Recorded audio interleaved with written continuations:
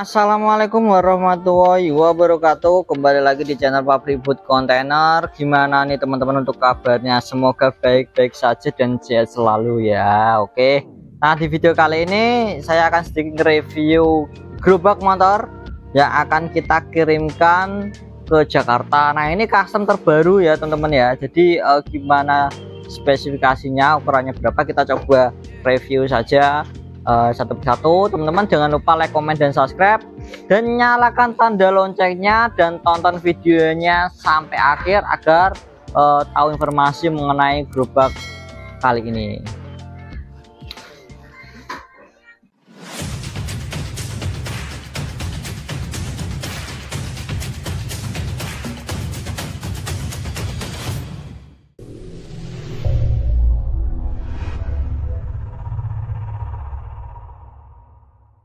pakainya holo teman-teman ya untuk pada bagian eh, kerangkanya ini. Ini pakai holo. Jadi untuk pada dindingnya ini pakainya multiplex. Jadi ini eh, kandel teman-teman. Jadi ini misal teman-teman pakai pengen pakai galvanis juga bisa atau pakai uh, bahan yang lain juga bisa. Jadi eh, teman-teman uh, silakan konsultasi aja mengenai bahannya sesuai keinginan teman-teman semuanya bagian sini teman-teman ya. Kita coba lihat kepada bagian sini itu digunakan untuk tempat payung teman-teman ya. Jadi ini custom sekali lagi. Ini bisa dicopot. Ini pakainya ada bautnya di sini ada dua.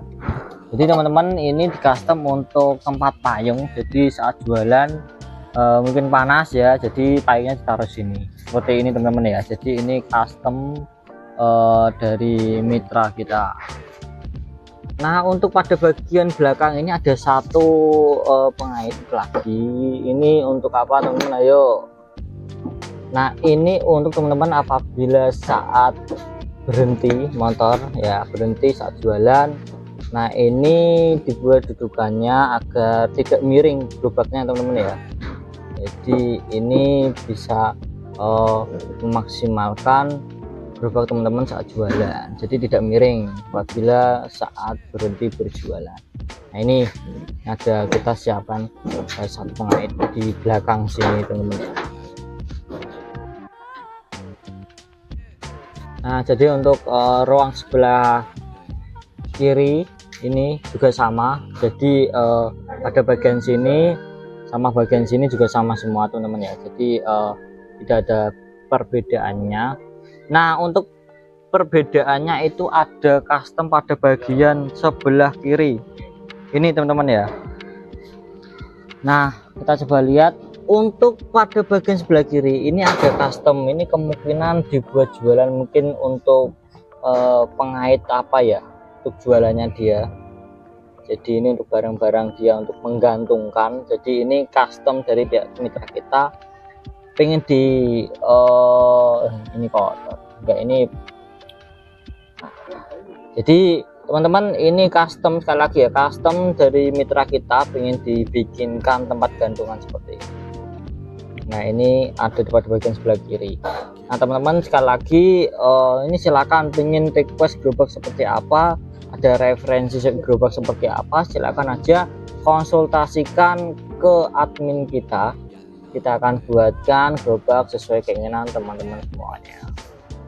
Nah teman-teman untuk pada bagian sini ini digunakan untuk pengait tali. Jadi ini digunakan untuk uh, saat teman-teman gerobaknya ini taruh di motor. Nah ini kita butuh tali agar ini tidak bisa bergerak atau mungkin tidak uh, jatuh teman-teman. Ya ini terdapat tali. Untuk terdapat tempat talinya di sini. Nanti ditali di motornya. Ini kita include nah teman-teman untuk pada bagian bawahnya ini kita lengkapi dengan empat roda teman-teman ya. Jadi uh, apabila mungkin gerobaknya uh, diturunkan atau dibuat jualan di uh, enggak di motor ini bisa didorong. Jadi ini multifungsi banget.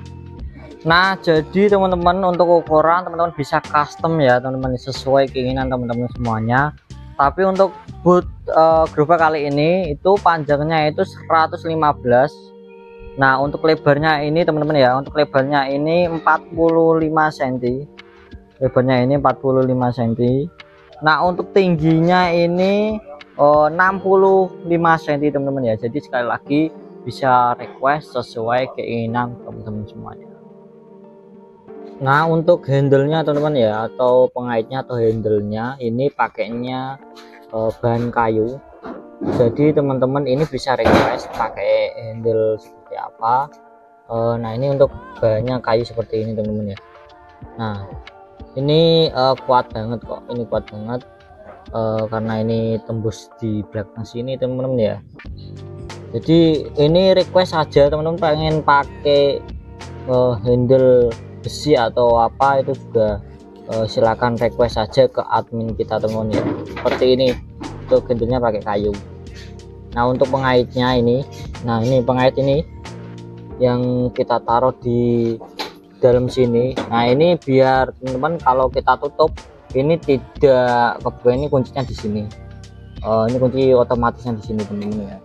Seperti ini nah ditutup seperti ini itu ada pengaitnya dalam sini jadi uh, tidak ini seperti kayak kunci teman-teman ya. Jadi ini seperti kunci otomatis tidak perlu pakai gembok. Seperti itulah teman-teman. Jadi ini bisa request misal teman-teman pakai kunci manual juga bisa. Atau pakai gembok juga bisa. Jadi tergantung teman-teman pengen request seperti apa.